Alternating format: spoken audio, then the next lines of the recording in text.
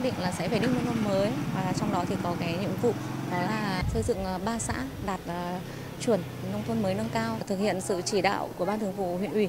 Thì huyện đoàn Ứng Hòa cũng phối hợp với phòng văn hóa thông tin và thể thao huyện thực hiện các phần việc xây dựng nông thôn mới. Trong đó thì có nội dung vẽ tranh tường đấy. Vẽ tranh tường bích họa thì là một trong những nội dung ờ, hoạt động rất là ý nghĩa và thiết thực đã được thành đoàn chỉ đạo và triển khai. Và thường thì huyện đoàn Ứng Hòa cũng đã rất là chủ động chỉ đạo ờ, ờ, ba trên tổng số là 29 xã thị trấn vẽ các tranh tường bích họa tại các cái điểm khu dân cư trên địa bàn các trục đường liên thôn và liên xã.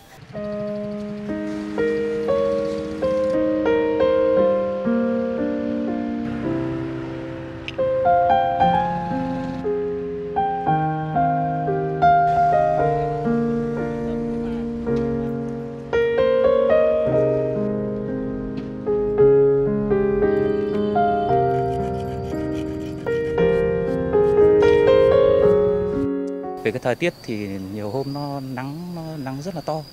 Nhưng mà anh em cũng vẫn là nhiệt tình, vẫn là hết mình với công việc. Rồi nắng mưa các thứ đấy.